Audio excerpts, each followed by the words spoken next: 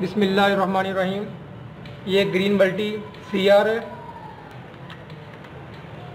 हम plastic frame है और मेटल कमानी है।